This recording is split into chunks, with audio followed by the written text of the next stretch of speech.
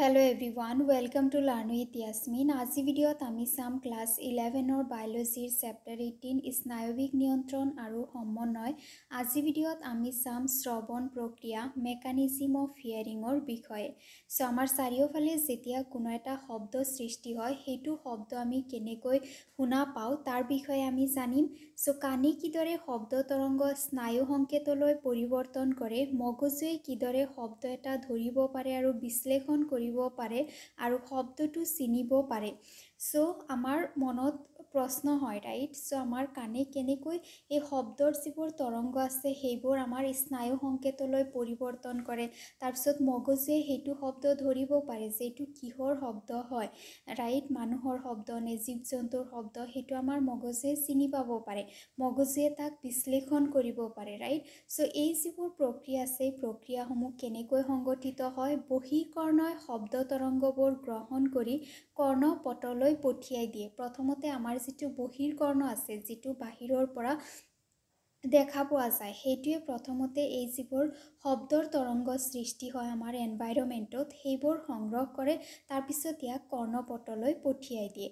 কৰ্ণপটটোত এই তৰংগৰ ফলত এটা কপনিৰ সৃষ্টি হয় আৰু এই কপনি মেলিয়াছ ইনকাছ আৰু ষ্টেপাছ নামৰ কৰ্ণ অষ্টিকা তিনিডালৰ জৰিয়তে অৰ্ধবৃত্ত বাতায়নলৈ যায়। তাৰপিছত এইটো যে কম্পন এইটো যে ভাইব্ৰেশ্যনৰ সৃষ্টি হ'ল এইটো আমাৰ যিটো মধ্যকৰ্ণ আছে মধ্যকৰ্ণত তিনিডাল হাড় থাকে মেলিয়াছ ইনকাছ আৰু ষ্টেপাছ সেই হাড় তিনিডাললৈকে যায়।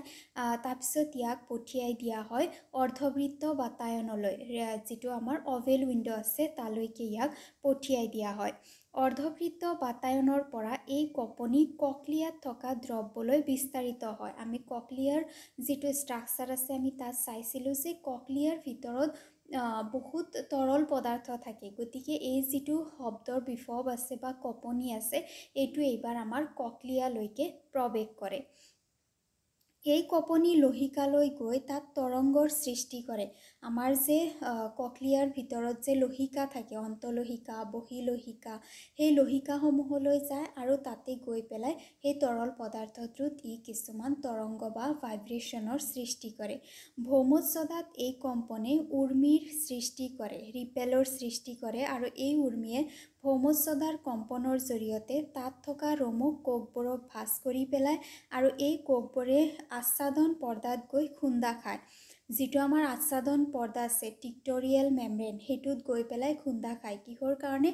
ৰমক কোষ যিবোৰ আছে চুলি সদৃশ যিবোৰ অংগ আছে হেয়াৰ চেল সেইসমূহ বেণ্ড হৈ যায় সেইসমূহ ভাজ হৈ যায় সেইকাৰণে ই গৈ পেলাই আচ্ছাদন পৰ্দাত খুন্দা দিয়ে। ফলস্বৰূপে ইয়াত জড়িত হৈ থকা বহিৰ্বাহী স্নায়ুবোৰৰ কোষবোৰত স্নায়ু সংকেতৰ সৃষ্টি হয়। খুন্দাটো হোৱাৰ লগে লগে ইয়াতে যিবোৰ বহিৰ্বাহী স্নায়ু থাকে সেইসমূহে কিছুমান স্নায়ু সংকেতৰ সৃষ্টি কৰে আৰু এই সংকেতবোৰ বহিৰ্বাহী তন্তুৰ শ্ৰৱণ স্নায়ুৰ মাধ্যমেৰে গৈ মগজুৰ শ্ৰৱণ শ্ৰৱণ প্ৰান্ত প্ৰান্তস্থা পাইগৈ। তাৰপিছত ই কি হয় এই যিটো তৰংগৰ সৃষ্টি হয় সেইটো তৰংগ কলৈকে যায়। আমাৰ যিটো মগজুৰ শ্ৰৱণ প্ৰান্তস্থা বা অডিউটাৰী কৰ্টেক্স আছে তাৰমানে আমাৰ মগজুত যিটো শুনা অংশ আছে সেই শুনা অংশলৈকে ই প্ৰৱেশ কৰে।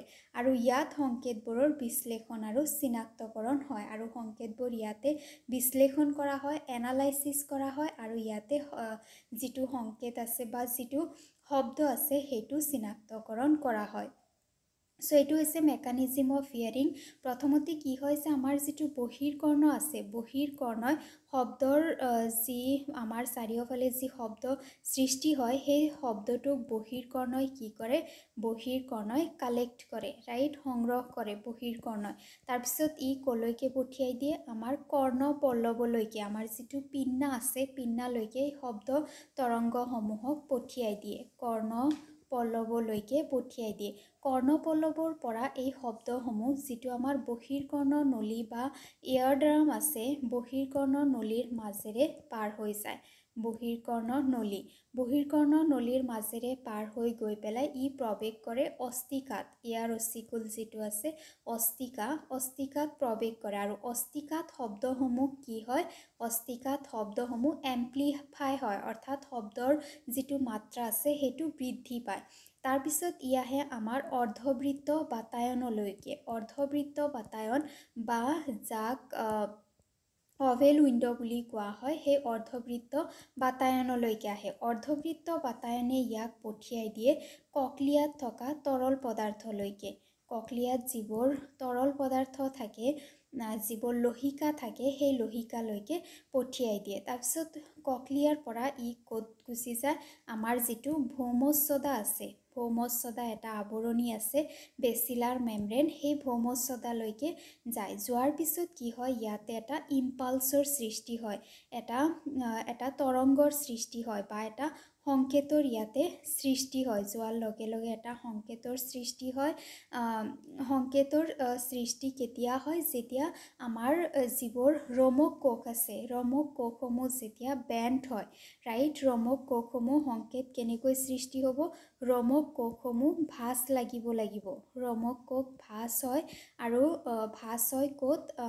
ভাঁজ হোৱাৰ ফলত যিটো আমাৰ আচ্ছাদক পৰ্দা আছে আচ্ছাদক পৰ্দাত ই এটা হেঁচা দিয়ে ই এটা প্ৰেছাৰ দিয়ে ৰাইট আচ্ছাদক পৰ্দাত যেতিয়া এটা প্ৰেছাৰৰ সৃষ্টি হয় আচ্ছাদক পৰ্দাই যেতিয়া এটা প্ৰেছাৰ পায় প্ৰেছাৰ পায় বা খুন্দা পায় তেতিয়া কি হয় তাতে এটা সংকেত বা এটা ইম্পালছৰ সৃষ্টি হয়। তাৰপিছত এই যিটো সংকেত আছে সংকেতটো লৈ যোৱা হয় আমাৰ ব্ৰেইনলৈকে আমাৰ ব্ৰেইনৰ এটা অংশ আছে শুনা অংশ যাক শ্ৰৱণ পান্ত্ৰস্তা বুলি কোৱা হয় অডিউটাৰী কৰ্টেক্স তালৈকে যায়। আৰু তালৈকে যোৱাৰ পিছত এই যিটো সংকেত আছে সংকেতটো এনালাইচিছ হয়। তাৰপিছত সেই যিটো শব্দ আছে শব্দটোক ধৰিব পৰা বা বুজিব পৰা যায়। চ' আজি ভিডিঅ'ত ইমানখিনিয়ে। ভিডিঅ' কেনেকুৱা পালা জনাবা ভাল লাগিলে লাইক কৰিবা আৰু চেনেল ছাবস্ক্ৰাইব কৰিবা। Thank you